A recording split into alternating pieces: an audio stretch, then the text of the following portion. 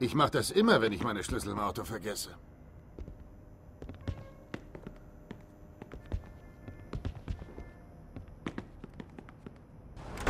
Willst du den Wagen immer noch knacken?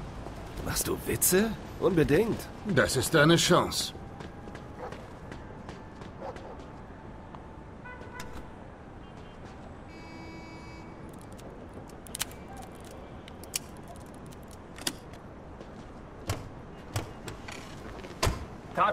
Autodiebstahl. Drück drauf. Verstanden. Autodiebstahl ist wir Ja, es ist noch nicht vorbei. Schüttel sie ab, schnell. Alles klar.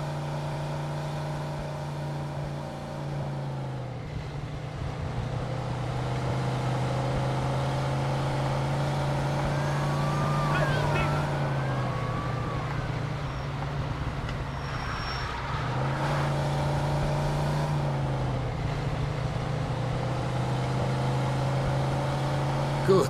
Scheint, dass wir ihn los sind. Also, wie gefällt dir der Wagen? Gar nicht schlecht. Ich glaube, den behalte ich. Gut. Wir brauchen eine Werkstatt. Die bieten genau das, was wir jetzt suchen. Klingt aber nicht billig. Keine Sorge, das geht auf mich. Fahr einfach zu einer Werkstatt. Ich kenne den Typen, dem sie gehören.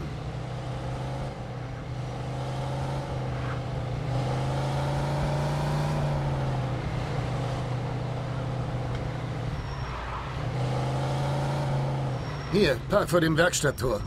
Okay, und jetzt drück auf die Hupe.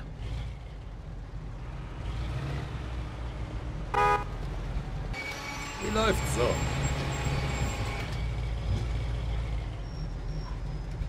Womit kann ich dienen?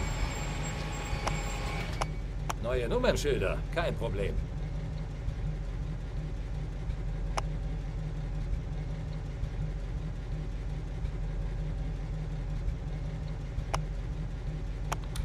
Es ist alles erledigt. Such dir eine Farbe aus.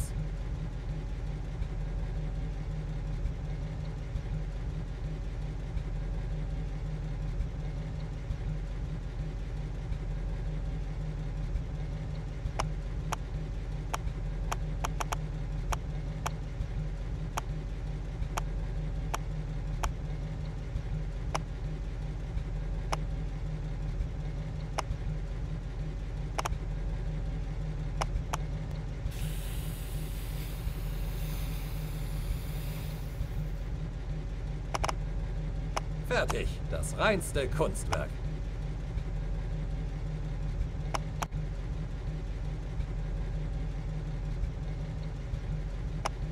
Brauchst du neue Räder? Du hast freie Auswahl, mein Freund.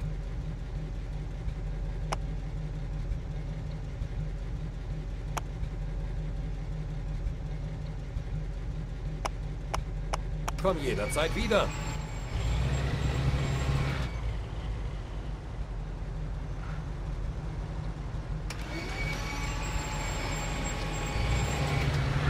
Gut, dann stelle ich dich jetzt Mike Brusky vor. Er hat vielleicht einen Job für dich. Okay, wo ist er? Ihm gehört ein Schrottplatz drüben in Riverside. Du kannst ihn nicht verfehlen. Wie hieß der Kleine nochmal? Welcher Kleine? Der von der Autowerkstatt? Ach, Tommy. Er ist der Neffe meines Kumpels. Ein super Tänzer. Im alten Tanzlokal in der Oyster Bay vor ein paar Wochen sind alle Bräute seinetwegen durchgedreht. Ist da etwa einer eifersüchtig? Witzig. Ich brauche keine Tanzschritte. Ich habe meinen Charme, mein Freund. Ich verrate dir ein paar meiner Sprüche. Dann musst du dir nicht mehr jeden Abend einen von der Palme wedeln. Würdest du für 50 Dollar mit mir ins Bett gehen? Aber mach schnell, ich brauche die Kohle dringend.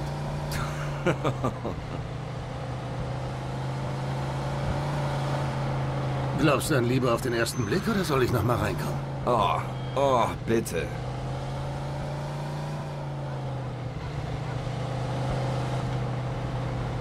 Hey Baby, das ist ein tolles Kleid. Das würde sich wundervoll neben meinem Bett machen. Und das soll funktionieren? Kennst du den Unterschied zwischen einem Gespräch und Sex? Nein? Wollen wir zu mir und ein bisschen reden? Schon klar, dass du Probleme hast.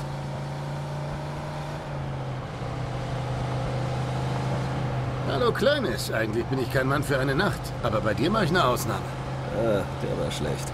Wenn man drei Beine in der Hose hat, dann braucht man nicht gut reden können, verstehst du?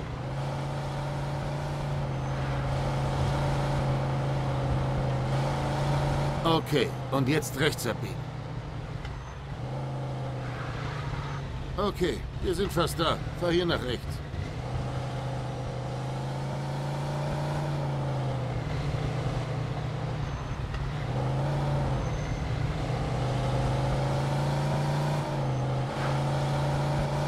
Das ist Mikes Schrottplatz. Fahr einfach durchs Tor.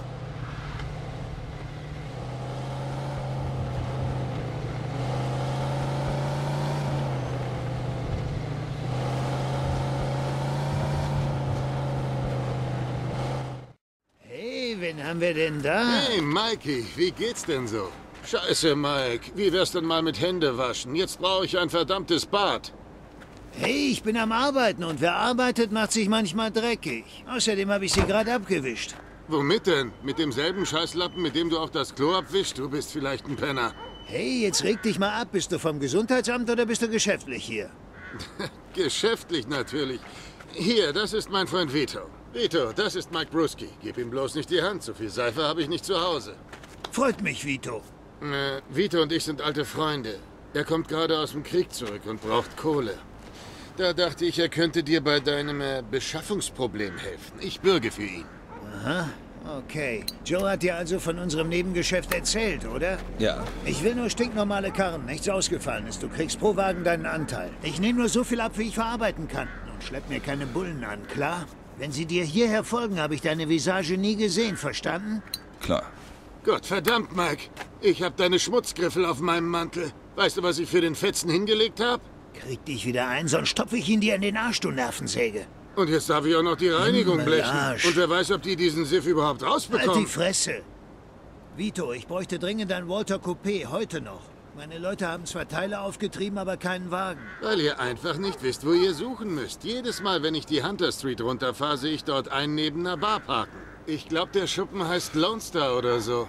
Ist der nicht im schwarzen Viertel? Da falle ich doch auf wie ein bunter Hund. Ich gebe dir 350 Mäuse, das ist doch das Risiko wert, oder? 400. Na schön, abgemacht. Komm, Vito, fahren wir. Andiamo. Und dir schicke ich die Rechnung für die Reinigung von meinem Mantel. Die kannst du dir in die Haare schmieren, du Sackgesicht. Okay, hör zu. Das ist sozusagen deine Jungfernfahrt hier. Versaus also nicht, verstanden? Hier, Vito. Nimm das. Für alle Fälle. Hey, klasse. Hey Mike, darf ich das Ding mal ausprobieren? Klar, lass dich nicht abhalten. Dann mal los. Ziel auf die alte Kiste da drüben.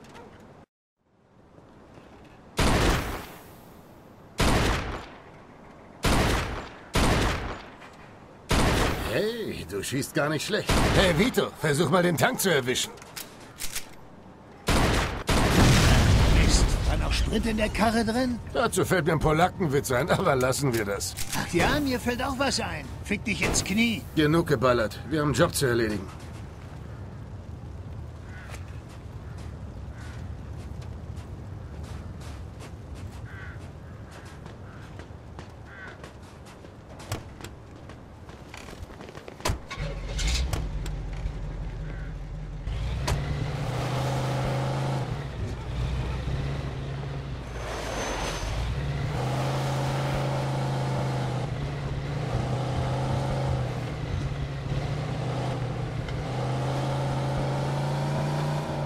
Fahr los, so wie wir gekommen sind. Und dann auf dem Haupthighway nach Westen. Nicht durch die Stadt durch.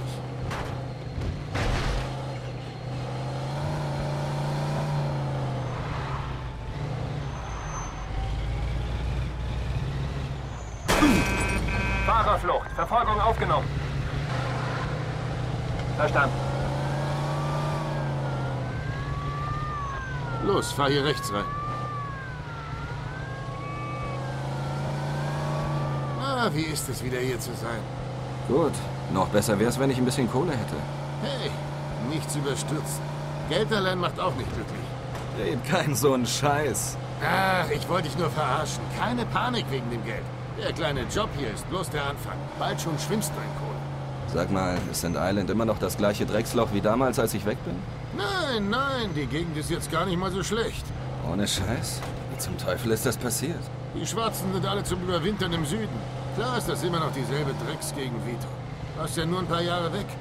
Das braucht viel länger,